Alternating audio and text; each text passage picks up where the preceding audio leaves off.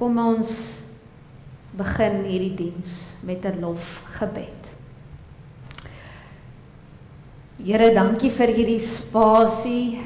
Dankie dat U ons omarm op hierdie koue winteroggend. Ons bring lof aan U, Here. Want U is die skepper van die heelal. U is almagtige drie-enige God. En U lei ons, U vorm ons, U daag ons uit. En U nooi ons om dieper te gaan in U woord, in ons verhouding met U. En dit is my gebed ook vir oggend dat ons dieper sal gaan. Onsself toelaat om ons hart oop te maak. Ons bid dit alles in u groot naam. Amen. Wanneer ons in die teenwoordigheid van God is, kan ons eintlik nie anders as om nederig voor die Here te buig nie of nederig voor die Here te staan nie. En ons reis nou die afgelope paar Sondae deur die vrug van die Gees en ons het baie goed vir mekaar eintlik tot dusver al gesê. En ek dink alles wat vir mekaar gesê het kan vasgevang word in die Here se gebod. En ek dink daarmee wil ek hê ons moet onsself ver oggend verontmoedig. Die Here se bevel is jy moet die Here jou God lief hê met jou hele hart, jou hele siel en met jou hele verstand. Dit is die grootste en die eerste gebod. En die tweede wat hieraan gelyk staan, is jy met jou naaste lief hê soos jouself. Mag jy vir oggend daardie gebod, daardie bevel in jou hart toesluit. Amen. Ek groet julle vanoggend in die naam van die Vader, die Seun en die Heilige Gees. Amen. Ons lees vandag uit uh 1 Petrus 4 vers 7 tot 11 en dan ook uit Jakobus 1 vers 19 tot 27. Nou die van julle wat gou julle plekke kry in julle Bybel, ons sluit vandag af met ons reeks deur die vrug van die Gees. So ons het stil gestaan by die eerste Sondag by liefde en vreugde en ons het gesê ware liefde en vreugde vind ons net in God. Toe ons gegaan na geduld en vrede toe en ek het 'n paar oproepe gekry van mense wat gesê het Dominee ek sukkel. Ehm um, geduld is 'n bietjie moeiliker om uit te leef ehm um, as liefde. Maar ons het gesê dalk moet ons begin anders kyk na ons ongeduld. Dalk moet ons in daardie oomblik sien dat die Here ons kan gebruik en dat die Here ons ongeduld kan draai na geduld toe. Toe het ons verlede Sondag stil gestaan by vriendelikheid en goedhartigheid waar ons gesê het dis ons keuse of ons wil bou of wil afbreek. Ons het 'n eh, dis ons keuse hoe ons wil reageer. So vandag staan ons nou stil by die laaste 3: getrouheid, sagmoedigheid en selfbeheersing. Nou kom ons kyk wat sê ons tekste vir ons daaroor. Ons begin by die 1 Petrus 4 vers 7 tot 11. Die einde van alle dinge is op hande. Daarom moet julle self beheer en nigter wees met die oog op gebed. Bo alles moet julle mekaar innig lief hê omdat die liefde 'n menigte sondes bedek. Wees gasvry teenoor mekaar sonder om te mor. As goeie bestuurders van die veelvoudige genade van God moet julle mekaar bedien in ooreenstemming met die genadegawe wat elkeen ontvang het. As iemand aan die woord is, laat dit soos woorde van God wees. As iemand dien, laat dit wees vanuit die krag wat God voorsien, sodat God in alles verheerlik kan word deur Jesus Christus aan wie die heerlikheid en die krag behoort vir ewig en ewig. Amen. Dan die Jakobus teks, Jakobus 1 vers 19 tot 27 Let op my geliefde broers. Elke mens moet flink wees om te luister stadig om te praat en stadig om kwaad te word. Want die woede van 'n mens bewerk nie geregtigheid voor God nie. Doen daarom in sagmoedigheid afstand van alle morele besoedelinge en die kwaad wat gedei en ontvang die woord wat in julle geplant is en daartoe in staat is om julle siele te verlos. Wees doeners van die woord en nie sleg hoorders wat julle mislei nie, want wie 'n hoorder van die woord is en nie 'n doener nie, is soos iemand wat sy eie gesig in 'n spieël sien. Hy sien homself, gaan weg en vergeet onmiddellik hoe hy gelyk het. Maar wie diep in die volmaakte wet van vryheid inkyk en daaraan hou, sal gelukkig wees in wat hy doen, omdat hy nie 'n vergeetagtige hoorder is nie, maar 'n doener. As iemand dink hy dat hy godsdienstig is en nie sy tong kan beheer nie, mislei hy homself. So 'n mens se godsdiens is vergeefs. Dit is suiwer en onbesmette godsdienste voor ons God en Vader om na weeskinders en weduwees om te sien in hulle ellende en self en jouself onbesmet van die wêreld te hou. Nou, hierdie is ek dink twee kragtige tekste. En die rede hoekom ek hierdie twee gekies het, juis want dit sê vir ons iets van sagmoedigheid en selfbeheersing en ehm um, getrouheid, maar ook ek dink hierdie twee tekste sluit so mooi af wat ons eintlik al klaar reeds vir mekaar gesê het.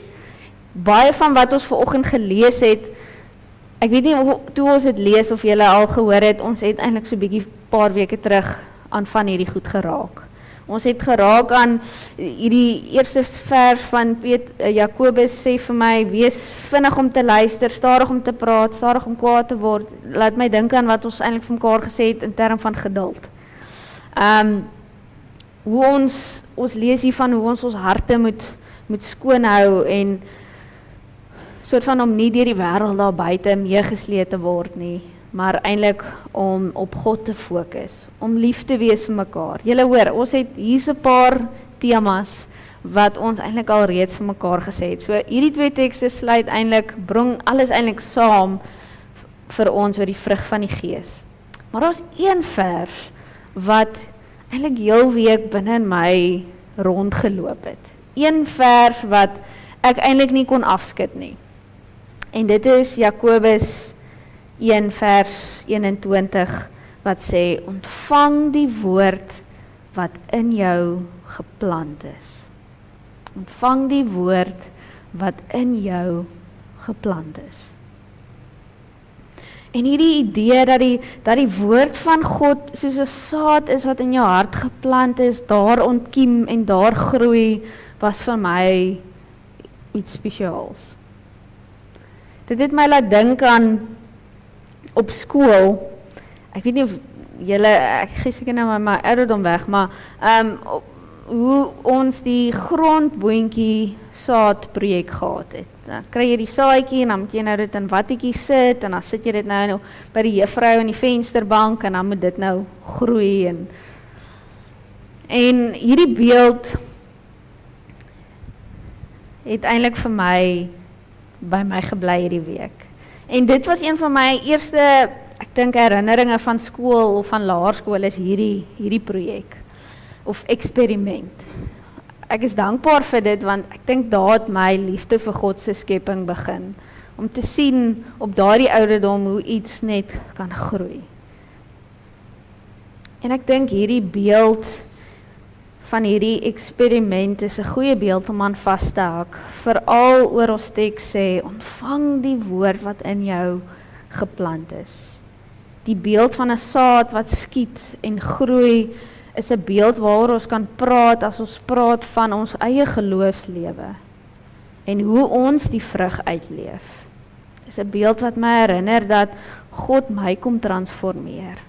Dat die krag van die evangelie binne my kan begin en dan uiteindelik my lewe oorneem. So ek het gedink, kom ons pas hierdie eksperiment toe op ons eie geloofslewe. Is jy reg? Kom ons doen. Nou die eerste ding van hierdie eksperiment is die juffrou kom leer jou jy moet eintlik die grond bewerk. So dit begin met 'n wattetjie, maar wanneer dit uitgeplant word, dan moet jy eintlik nou die grond mooi Dit moet gesonde grond wees, goeie dreinering. En dit is baie waar vir ons geloofslewe in die sin dat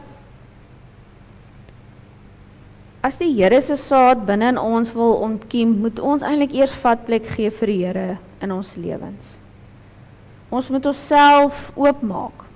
Ons moet onsself bereidwillig maak, gereed maak om die Here se woord te kan ontvang. Ek het so 'n paar weke terug gesê met die morsige tuin preek dat die koninkryk van God vra nie voorbereiding vir die grond nie. Ons is net welkom. En dis waar vir die koninkryk, maar vir my eie persoonlike lewe is moet ek eintlik gesonde grond hê. Moet ek oop wees vir God. En dit het baie te doen met hoe ons lewe as gelowiges. Dit het baie te doen met ons eie selfbeheersing. Hoe kan ons ligdraers van God wees as ons eintlik maar dalk besig is met die dinge van die donker? En ek wil julle herinner aan die beeld van Psalm 1 wat ons in die eerste week gesê het. Daai van die boom wat geplant is langs watervore. Dis gesonde water wat daar deurkom en hierdie boom groei. Ek wonder sommer maar net hoe sal die boom lyk as dit langs besoedelde water gestaan het. Vol plastiek, die plastiek is ingeweef in sy wortels en dit gaan nie so 'n gesonde boom wees soos die beeld van Psalm 1 nie. So dis belangrik vir ons in die eerste stap om onsself voor te berei sodat geloof kan posvat. So dis die eerste eksperiment of die eerste fase van die eksperiment. Die tweede fase is het te doen met basiese groei en versorging. So wanneer hierdie grondboetjie dan nou geplant word, kort dit dan natuurlik aandag en versorging. En dieselfde is waar met ons verhouding met die Here. Soos enige verhouding, soos met 'n huwelik, met 'n vriendskap, ons moet werk aan 'n verhouding. Ons moet ook werk aan ons verhouding met God. Ons moet dit laat groei. En ons twee tekste help ons vandag met die hoe. Hoe laat ons ons verhouding met die Here groei? Dit begin deur te sê luister na God. Luister. Wees getrou aan God se woord. En dan leef jy dit uit, want wanneer ons geduldig en met selfbeheersing eintlik sit en luister, dan druk ons vir 'n oomblik die pause knoppie in ons lewe. Met hierdie reeks het ons vir mekaar gesê die wêreld daar buite is vinnig, is 'n gejaag, ons hardloop van die een ding na die ander ding toe. Alles is vinnig by ons voordeur. Daar is nie eintlik vir ons rede meer om stadig te gaan nie. En ons word baie keer meegesleep deur hierdie wêreld en ons het nie tyd om stil te staan nie want dit is ons dan nou nie nodig nie. Ons bel net en ons alles by ons voordeur. En dit spoel op 'n manier oor in ons geloofslewe. Dit is nie meer vir ons nodig om stil te staan nie want niemand staan stil nie. En dit maak dat ons nie 'n dieper verhouding gaan met die Here nie. Ons staan nie vir 'n oomblik stil en luister na God se woord nie. Maar deel van stil staan beteken nie net om te luister nie. Dit beteken om toe te laat dat ander mense jou help. Toe te laat dat ander mense saam met jou hierdie geloofsreis stap. Hierdie idee van die pause knoppie, ek weet nie of julle al hierdie fliek gesien het nie. Ehm um, is 'n film waar Adam Sandler die hoofrol speel. Die uh, film se naam is Klik. En hy het op 'n remote afgekom, 'n afstandbeheer. En hierdie remote se se funksie is om tyd te stop, tyd stadig te laat verbygaan, tyd vinnig te laat verbygaan of om te skiep. En in die begin was dit nou vir hom lekker om met hierdie ding te speel. Hy laat tyd stadig verbygaan, dan vinnig. Maar die knoppie wat hy toe nou nogals die meeste gebruik in hierdie fliek wat hy tot verbasing ook agtergekom het, was die skiep knoppie. Hy het die boring goed in sy lewe geskiep. sy tande borsel aan die punt daar's 'n punt in die fliek wat hy 'n gesprek met sy vrou ook skiep. Ehm um, en hierdie remote neem toe sy lewe oor. En hy kom toe nou op 'n punt waar hy toe nou sukkel om weer beheer oor sy lewe te kry want hierdie remote tel op wat jy skiep. Tel die tendense op en dan pas hy jou lewe aan volgens dit. En aan die einde van die fliek kom hy agter hy het net nie meer beheer oor sy lewe nie. En hierdie is vir my eintlik so 'n goeie voorbeeld want ons is so gejaag. Ons lewe so vinnig dat ons op 'n punt kom waar ons eintlik nie meer beheer het nie.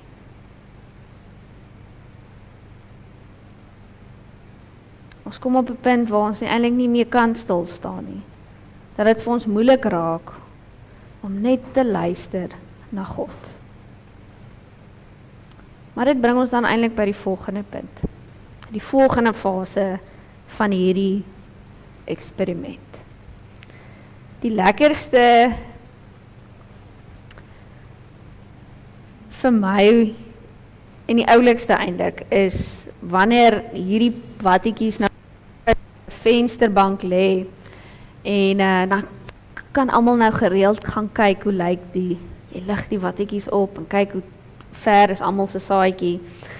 En jy neem eintlik nou maar besorgdheid oor almal se saadjie. Nou sien jy nie daai een se watte is te nat, dan druk jy net maar die water uit. Daai een kry nie genoeg son nie en dan skuif jy dit maar en so is die hele klas eintlik maar verantwoordelik vir mekaar se plantjie. Dit het gegaan oor jou eie, maar later dan het jy maar eintlik gekyk hoe gaan dit met die ander sin ook. En dan word iemand aangestel om daai spesifieke dag almal se plantjies nat te maak. En dit is die beeld van diensbaarheid wat daar vir my is.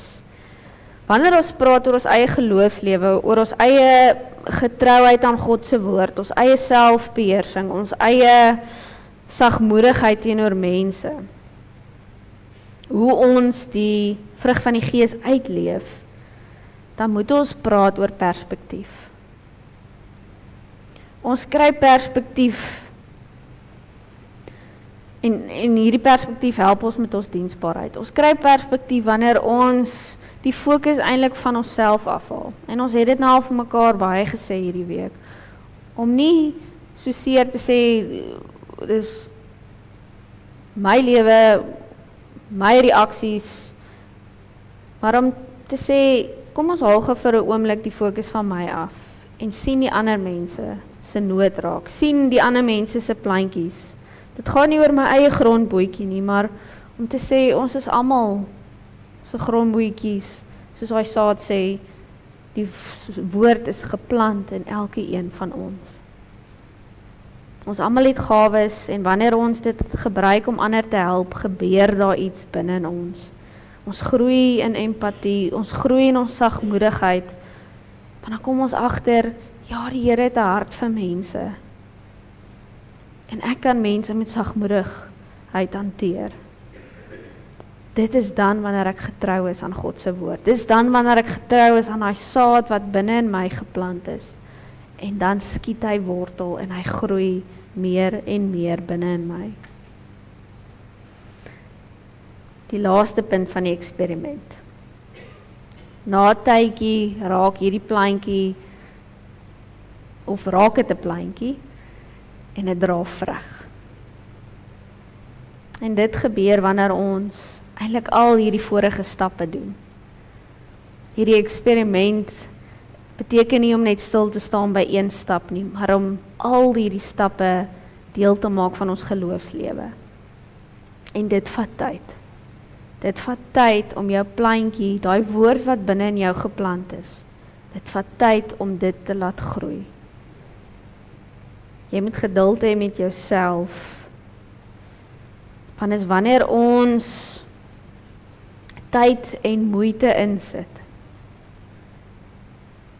Wanneer daai plantjie eintlik groei. Is wanneer ons tyd en moeite insit wat ons dan getrou is aan God se woord. En dan sien ons hoe dit stadig maar seker binne in ons groei. En dit bring positiewe dinge na vore. Ons het 'n invloed op die mense rondom ons. Die vrug wat ons dra, gaan nie net oor onsself nie. Dit gaan nie net oor ons eie geloofslewe nie. Dit gaan ook oor die effek wat ons op die mense rondom ons het. Wanneer ons vrug dra, is dit asof dit 'n feesviering is van ons verhouding met God. Dit wys dat ons ken God. Dit wys dat ons volwasse is in ons geloof. Dit wys dat ons sterk staan in ons geloof, dat ons trots is in die wete dat God ons Heer is. En dat ons dade eintlik 'n invloed het op ander mense. Dit is hoe die eksperiment lyk binne ons eie lewe. Nou ek het so 'n paar weke terug uit Markus 4 gelees die gelykenis wat Jesus vertel van die mosterdsaad en hy het hierdie gelykenis gebruik om te verduidelik hoe lyk die koninkryk van God. En hy het gesê dat hierdie koninkryk is soos 'n mos, mosterdsaad, dit groei vinnig, dit groei hoog. Dit neem die plante om oor wat eintlik om dit geplant is. En dit is baie moeilik om dit dood te maak. Maar wanneer hierdie plant opkom, kom dit in 'n vorm van 'n onkruid op. En toe het ons vir mekaar gesê, daarom is die koninkryk van God eintlik 'n morsige tuin. En dis met hierdie beeld van die morsige tuin wat ek ons vrug van die gees reeks wil afsluit. As ons toelaat dat daai woord wat binne in ons geplant is, As ons toelaat dat dit posvat in ons hart, dan neem dit ons oor. Dis aansteeklik, dit kan nie weggesteek word nie. Niemand kan dit keer nie. En as jy weer sien, is dit soos die mosterdsaad in jou hele lewe word oorgeneem deur God se omkruid.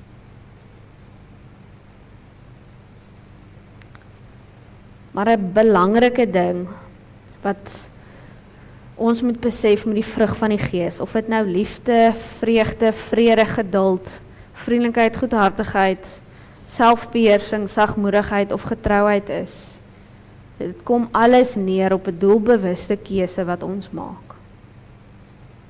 'n Doelbewuste keuse om daardie saad binne in jou voor te sorg. Dis 'n doelbewuste keuse wat ons maak om te luister na God, om kans te gee dat die Here jou lewe oorneem. En dit behels dat ons vir die Here alles gee. Ons keuses, ons uitdagings, ons frustrasies, ons swakhede, maar meer as dit ook ons hoop, ons ambisies, ons tyd, ons gawes. Want as ons nie oorgee aan die Here nie, word ons meegesleep deur die wêreld daar buite. En dan gaan ons nooit werklik rus of vreugde vind nie of vrede nie. Dan sal ons nie verstaan hoe lyk ware liefde nie. 'n Liefde wat opoffer en jouself bo ander plaas. Baie keer as ons praat van die vrug van die gees, dan dink ons dit is reaktief. Dit het ek nou geleer deur die oproepe wat ek gekry het hierdie week. Ons dink dat as iemand iets vir my sê, iets gebeur of ek is in 'n situasie waar ek ongeduldig is, dat dit is dat ek moet reageer en nou moet ek maar geduldig wees. Ek moet nou maar liefde toon, ek moet nou maar sagmoedig wees. Maar die vrug van die Gees is nie reaktief nie. Ons moet nie dit net uitleef oor ek nou in 'n situasie is nie. Die vrug van die Gees moet eintlik deel, so deel wees van ons lewe, dit getuig van ons verhouding van God of met God. So wanneer ons die vrug van die Gees uitleef, is dit nie oor ek dit moet doen nie, maar oor ek in 'n verhouding is met die Here en hy deel van my lewe is. Jy hoor die onderskeid.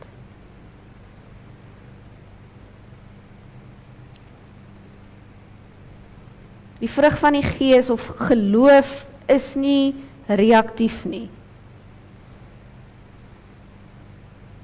Maar geloof moet eerder wees iets wat bou, iets wat ontwikkel, iets wat groei, 'n saadjie wat spruit. Dit is 'n geloof waar ons verantwoordelikheid neem vir ons eie aksies. Dit is nie mense wat my ongeduldig maak nie. Ek kies om ongeduldig te wees. En dit is belangrik om vir mekaar te sê. Die vrug van die Gees het minder met ander mense te doen, maar meer te doen oor hoe ek reageer. Minder met ander mense te doen is in die sin hulle reaksie bepaal nie my reaksie nie. Dit gaan daaroor om te fokus op jou eie dade en verantwoordelikheid te neem vir jou eie dade. Dit is wanneer ons dit doen. Wanneer ons besef die vrug van die Gees is 'n uitvloeisel van ons geloof. Dit is nie iets wat ek moet doen nie, maar dis iets wat deel word van my. Dit is dan wat ons getrou is aan die woord van God wat binne in ons geplant is. Dit is dan wat ons kan groei, floreer en vrug dra. Dan hierdie week se laaste uitdaging is: bied aan om vir iemand te bid wat deur 'n moeilike tyd gaan en bied praktiese hulp aan. Wys sagmoedigheid en getrouheid deur jou betrokkenheid en ondersteuning. Nou dis nou nog, ek weet vir baie mense is dit uitdaging om hardop te bid. Nou moet jy nog vir iemand ook bid. So dit is moeilik. Ek daag julle werklik uit hier, maar ons sien hoor nou mense plukkie vrug daarvan. So probeer hierdie week as daar iemand oor jou pad kom, dalk het jy nou aan 'n naam of 'n gesig um, gedink, vra vir die persoon of jy vir hulle kan bid. Dit kan 'n een eenvoudige gebed wees. Jy kan ook vir hulle vra, hoor jy ek is ek is skaam om hardop te bid. Gee om as ek jou net my hand op jou skouer sit en ek wil net in stilte vir jou bid. Maar die idee is bid vir iemand. OK. En hou aan met betrokke wees en ondersteuning en wys sagmoedigheid. Sal jy dit kan doen? OK. Oefening. Kies een area in jou lewe waar jy sukkel met selfbeheersing. Ek het daar voorbeelde gesit vir ingeval jy dalk ehm um, nie nie aan iets kan dink nie. Maar dalk iets soos 'n dieet of tydsbestuur. Ek dink tydsbestuur is 'n groot probleem vir baie van ons. Ehm um, en werk daaraan om beter beheer te ontwikkel met gebed, ondersteuning van 'n vertroueling. Baie keer probeer ons hierdie goed alleen doen. Maar ons vergeet daar's ander mense wat saam met ons hierdie pad stap. So deurdat jy vir iemand sê, hierdie week wil ek fokus op hierdie area van my lewe, hou my verantwoordbaar. En dit het al baie gehelp. Baie keer voel ons, ag ons gaan nou opgee, dan kry ons daai oproep van daai vertroueling wat sê, "Hoor jy, hoe gaan dit met jou tydsbestuur hierdie week?" En dan kom jy net weer weer in die ding in. Sal ons dit kan doen? Ek voel elke week julle sê maar net ja vir my. maar gelukkig kry ek oproepe en WhatsApp van mense wat ek weet hier is daarom van julle wat dit doen. OK. Dis dit vir hierdie week. Dankie dat ons saam op reis kon gegaan het. Hier was van julle wat julle self werklik oopgestel het oor die vrug van die Gees en my hoop is dat julle met hierdie reis sou gehoor het dit is nie maklik om die vrug van die Gees uit te leef nie. Dit is selfs vir my uitdagend En dit gaan bly. Maar dis waar hierdie saadbeeld inkom. Sodra ons tyd, aandag en versorging gee, begin daar 'n groei binne in ons. So ons gaan dit nie elke keer regkry om geduldig te wees in 'n situasie nie. Maar nou is ons bewus van ons aksies. En dit is my enigste gebed met hierdie reis dat ons net ten minste na onsself sal kyk en verantwoordelikheid sal neem vir ons eie reaksies. Maar belangrik om te sê, die vrug van die Gees is nie reaktief nie. OK. Dankie julle, dit was vir my regtig dit was vir my baie lekker om saam met julle op reis te wees. En nou begin ons weer met 'n 7 weke 'n reis wat ek net so opgewonde is oor. OK. Kom ons sluit af met gebed. Here, ons het vir die afgelope 4 Sondae werklik ons lewe oopgemaak en bewus geword van ons reaksies. Hoe ons ongeduldig raak, hoe ons soms sukkel om liefde uit te leef. Hoe ons wonder of ons werklik vrede en vreugde beleef. Maar ook hoe ons teenoor ander mense optree met vriendelikheid en goedhartigheid. En ons is dalk nie aldag goed met selfbeheersing nie. Ons is dalk nie aldag sagmoedig nie. Maar my gebed is en dit is vir my waarop alles neerkom is getrouheid. Dat ons getrou sal wees aan hierdie woord wat binne in ons geplant is. Dat vanuit dit vanuit hierdie saadjie, vanuit hierdie woord die vrug van die Gees deel sal word van ons lewe, ons sal oorneem dat dit nie reaktief is nie, maar deel is van ons lewe. Ja, Here, ons gaan dalk nie oor 'n week of wat al die vrug van die Gees net so kan uitleef nie, maar ons weet ten minste dat U is lief vir ons en dat ons die ware vrug van die Gees by U sal vind. Dat U ons lei, ons optel, ons tweede kanse gee. Ons help as ons sukkel. Want U is liefde. U is vreugde. U is vrede. U is vriendelik. U is goedhartig. En daarom kan ek hierdie dinge ook wees. Ek bid dit alles in U groote naam. Amen.